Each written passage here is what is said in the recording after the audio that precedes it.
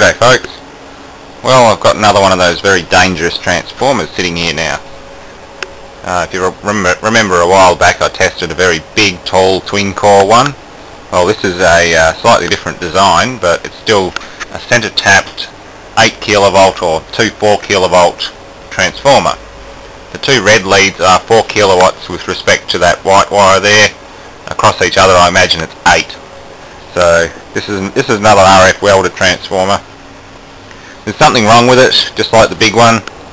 It's not suitable for running an RF welder. It throws the whole system out of whack and nothing happens. But I imagine it might do something on the test bench. If it doesn't, I'll make it do something. So let's turn it on and see what happens. Alright, as they say, fire in the hole. Ooh, Secondary's bad.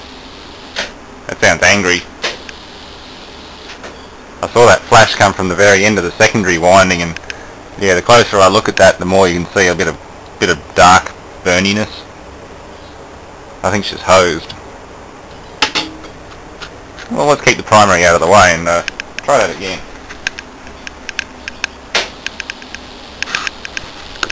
Oh yeah, you can see little arcs and things fl fluttering around. That is well and truly hosed. Put something across the output and just see if I am getting any output.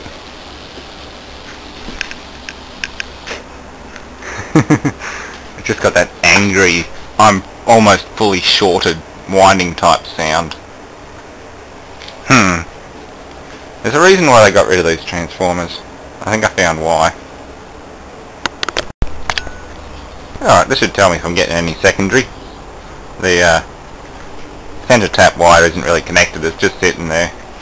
Then again, the voltage potential might get high enough to actually make it part of the circuit, so let's find out. Ooh!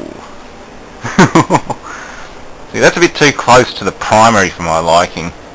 Trouble is, if it arcs to the live or something, it could send a bolt through the bloody power supply in this house and bloody fry my computer. That's the other risk, you don't want it shorting out to ground. Or, sorry, not to ground, but to neutral or live. Yeah, I don't like this transformer.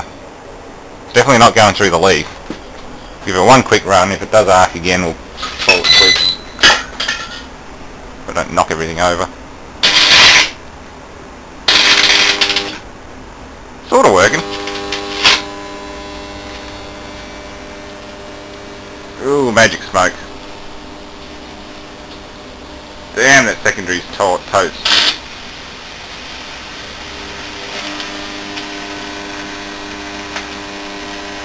Damn, that's a lot of smoke. Oop, there goes the breaker.